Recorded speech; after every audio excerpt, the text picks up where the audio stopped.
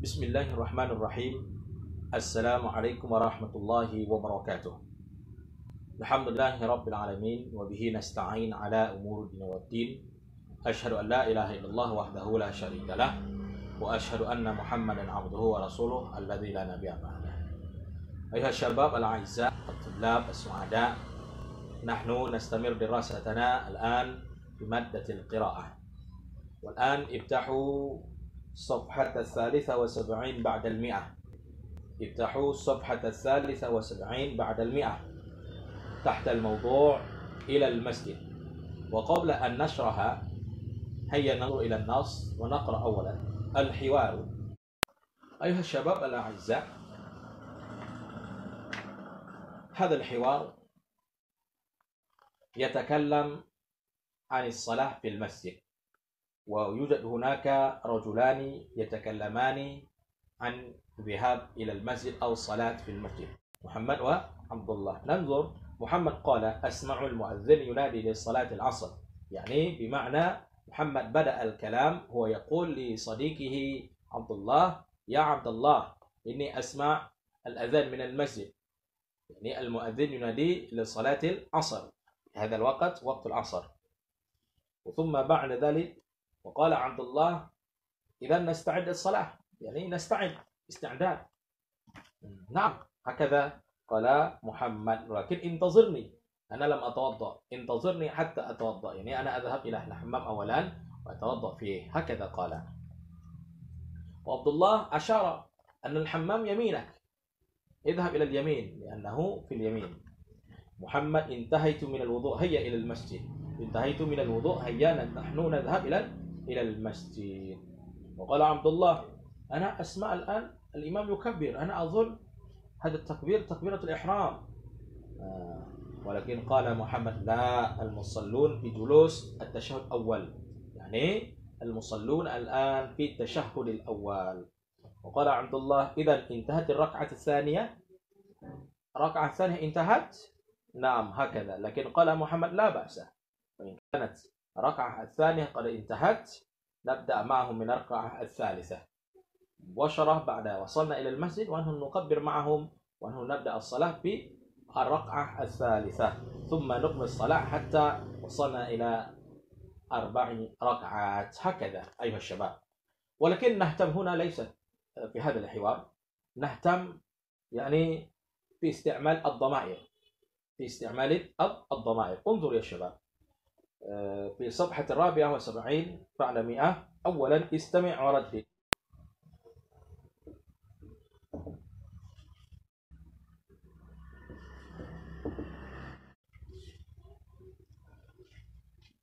انظروا. أولا ثانيا وثالثا.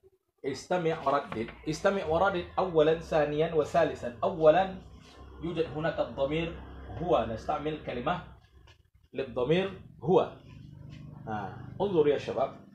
المسلم يكبر للصلاة. المسلم يكبر للصلاة.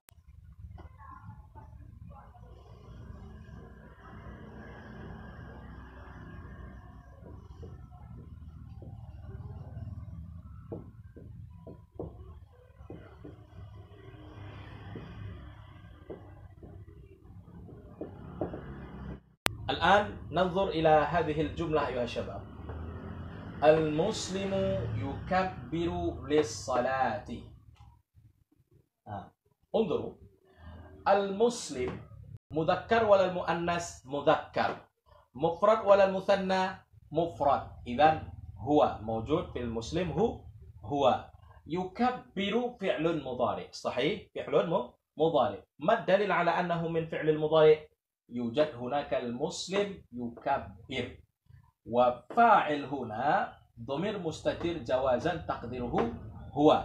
لذلك لو كان الضمير هو يكبر هذا للمفرد مذكر وهو الضمير هو. فهم يا شباب؟ وثم ننتقل إلى هما. هذا هما. المفرد نجعل إلى المثنى. نجعل المفرد إلى المثنى. ما نزيد؟ انظروا. المسلمان آه.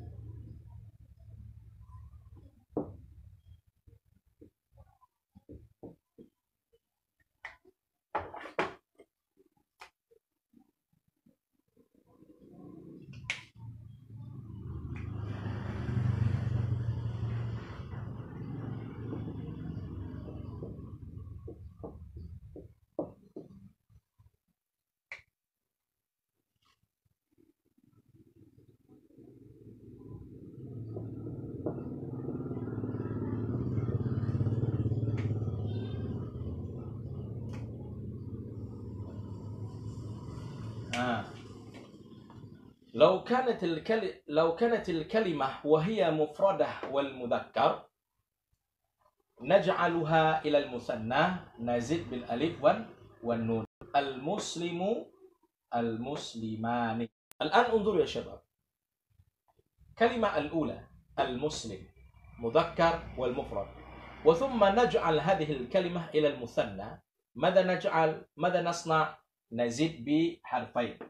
ما هي الزيادة ألف والنون. المسلم الآن المسلمان.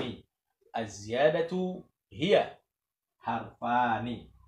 ألف والنون.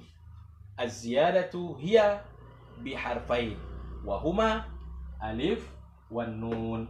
وكذلك يكبران. يكبران.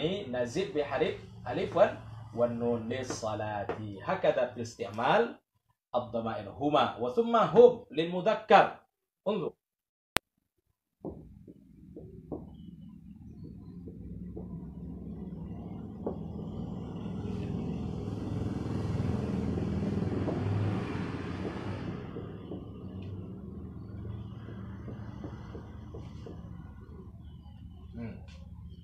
الآن انظروا إلى هذه الجملة.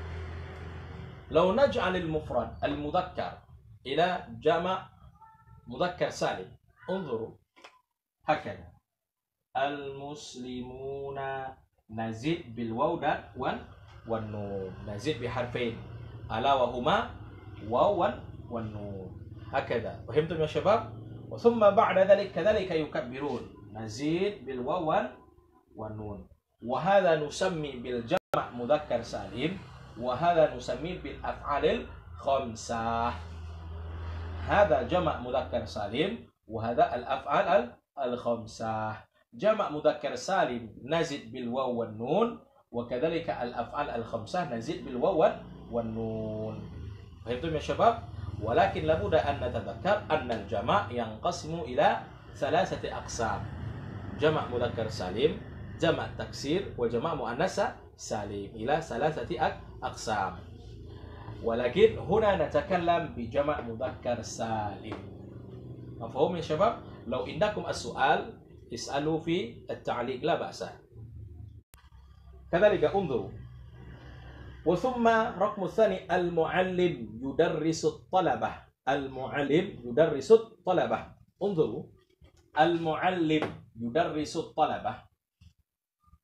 ماذا نزيد الثانية ألف والنون المعلمان يدرسان الطلبة.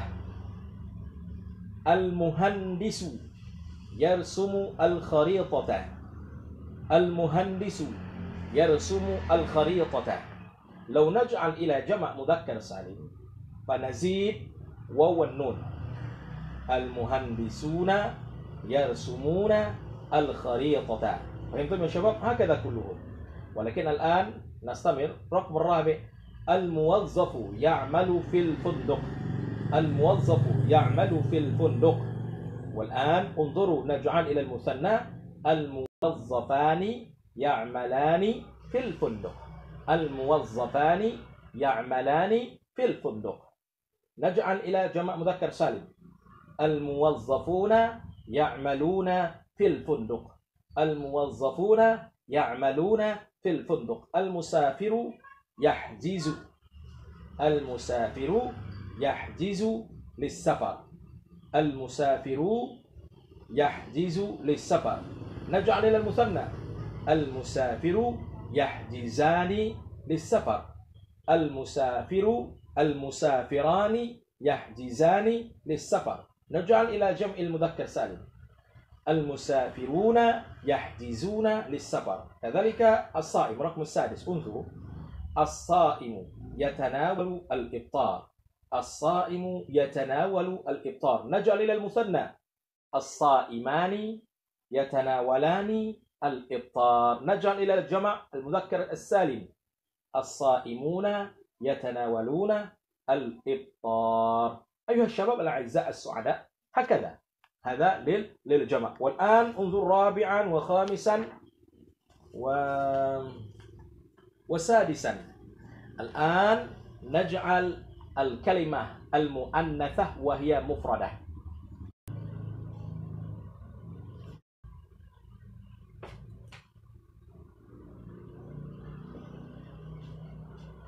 سابقا الكلمات التي استعملناها المسلم والآن نستعمل المسلمة.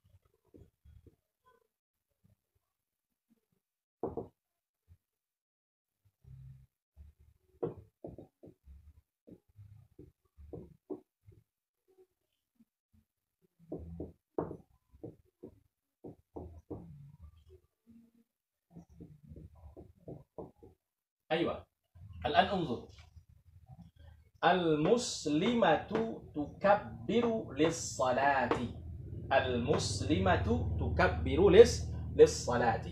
الآن انظر يا شباب. هذه الكلمة مفردة وهي مؤنثة. لذلك الضمير هي. انظروا وهي المبتدأ. هذه الكلمة مبتدأ. وتكبر فعل مضارع. فعل مضارع. تبدأ بحرف المضارعة بحرف المضارعة والفاعل ما هي؟ والفاعل ما هو هنا؟ الفاعل ضمير مستتر جوازا تقديره هي. انظروا هي. هنا هي. الآن تكبر موجود هي. لذلك نقول هنا المسلمة تكبر للصلاة. والآن موقفنا هنا يعني أن نجعل هذه الكلمة المفردة المؤنثة إلى المثنى. الآن مثنى.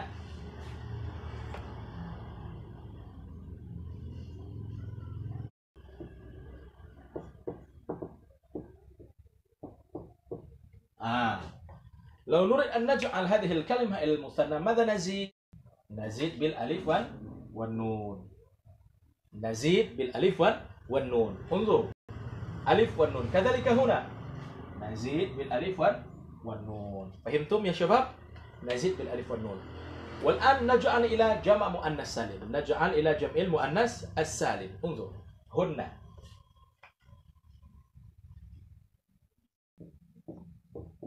آه. الآن انظروا إلى إلى هذه الجملة. المسلمات يكبرن للصلاة. الآن انظروا يا شباب. سبقا للجمع مؤنث آه سبقا للجمع مذكر سالم نزيد بالواو والنون. الواو والنون. وأما الجمع مؤنث سالم نزيد ألف والتاء. نزيد ألف والتاء. وفي آه، فعل المضارع نزيد بنون. ورا هنا بالسكون. لذلك نسمي حرف النون بنون نسوة ما الفرق بين النون نسوة والنون توكيد الثقيلة يا أستاذ؟ الفرق بينهما نون نسوة قبلها السكون وأما نون توكيد الثقيلة قبلها الفتح. هكذا. مفهوم يا شباب؟ الآن نستطيع أن نفرق بين المذكر والمؤنث ونجعل هذه الكلمة المفردة إلى المثنى والجمع. سواء كان هذا الجمع آه، مذكر سالم وجمع مؤنث سالم. الأول لابد أن نعرف لو نريد أن نجعل آه، الكلمة المفردة إلى المثنى نزيد بالحرفين وهي ألف والنون. وأما إلى جمع مذكر سليم نزيد بالواو والنون. وأما إلى جمع مؤنث سليم نزيد بالألف والتاء. فهمتم يا شباب؟ لو عندكم السؤال وأنتم لم تعرفوا عن هذا الشرح لا بأس أنتم تسألون في التعليق. وهذا هو درسنا اليوم لعلكم تستفيدون من هذا الفيديو أو من هذا الشرح. وأخيرا أقول لكم السلام عليكم ورحمة الله وبركاته.